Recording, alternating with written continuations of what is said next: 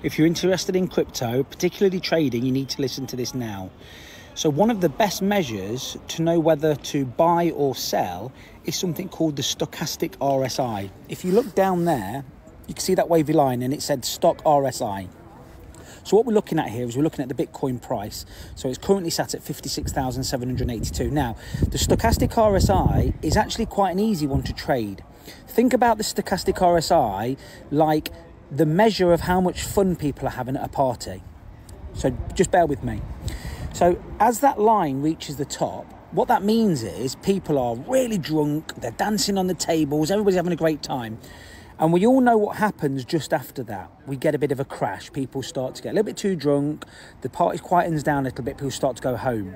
So as that happens and people start getting bored, the stochastic RSI starts to go down. So how does this work in terms of buying and selling?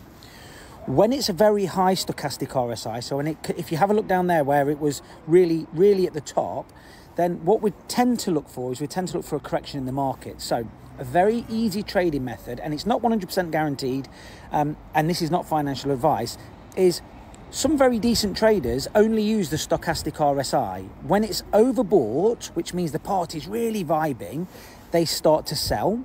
And then what happens is the market quietens down, people start to get bored of the party, and then they buy in again. So have a look at that wave function that you can see at the bottom doing this.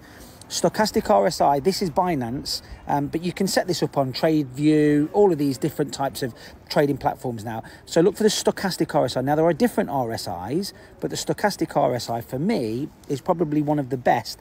And you can see with the price action when the stochastic RSI is very low, it then follows a pump.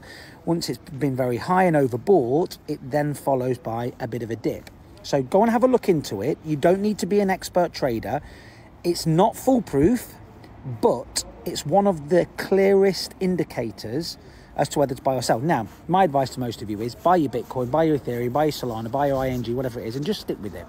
You will lose money if you're trying to trade, and certainly don't use leverage, but that's the stochastic RSI.